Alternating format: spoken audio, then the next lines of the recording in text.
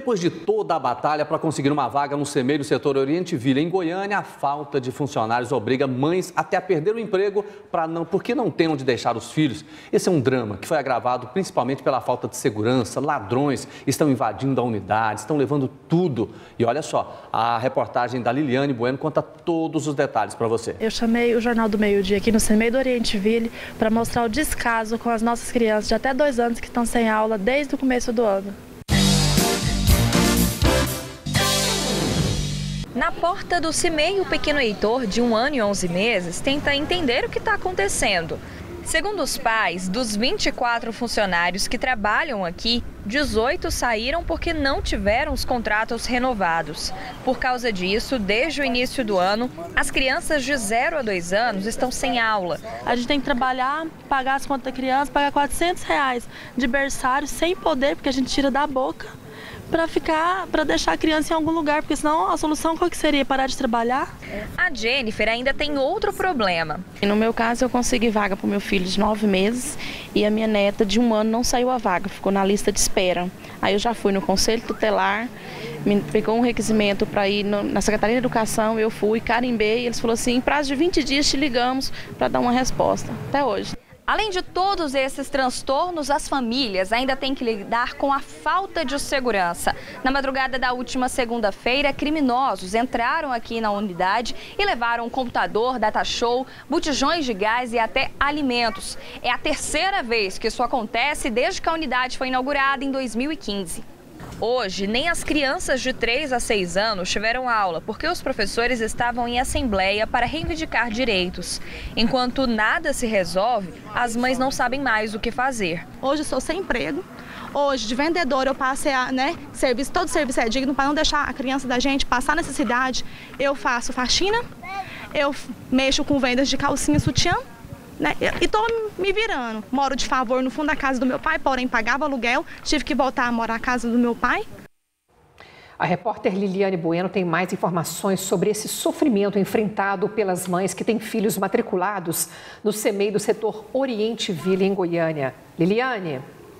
Olá, a gente continua aqui na porta do CIMEI do setor Oriente Vila, onde esse déficit de funcionários realmente tem trazido aí uma série de transtornos para as famílias que precisam de um lugar para deixar as crianças de 0 a 2 anos. Todo ano a gente mostra a luta das mães, principalmente, atrás de vaga em CIMEIs. Só que aqui não adiantou nada, né, conseguir uma vaga. Não, consegui uma vaga, mas até hoje não tem funcionário. Eu tenho ligado na prefeitura, na secretaria, eles falam que vão dar uma resposta mas até hoje nada. Como é que faz para deixar essa pequenininha aqui com alguém se todo mundo tem que trabalhar?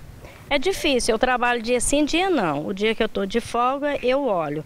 E eu no outro dia é um transtorno, né? Procurar uma pessoa e outra para olhar. E assim como a Hilda, muita gente também sofre com toda essa situação, porque nem sempre tem com quem deixar a criança. Um descaso total, né? Essa, esse déficit de servidores, a questão da falta de segurança. O que está precisando acontecer por aqui, hein, João Paulo?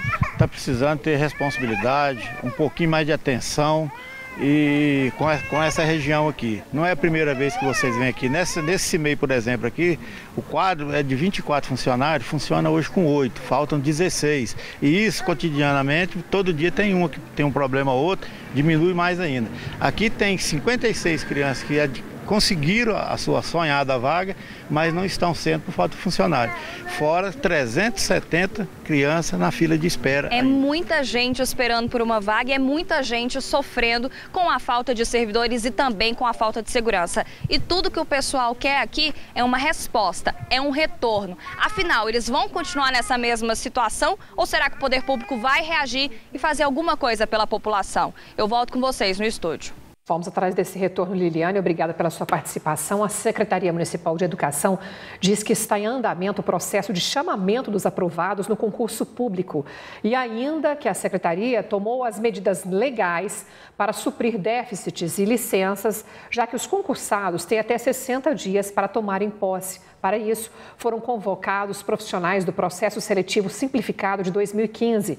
E também está autorizada a concessão de horas extras a funcionários efetivos nas funções de limpeza, merenda, auxiliar de secretaria e auxiliar de atividades educativas. Já a Guarda Civil Metropolitana informou que enviou uma equipe para avaliar o local e promete reforçar o patrulhamento. Qualquer informação é só entrar em contato pelo Disque Denúncia no 153.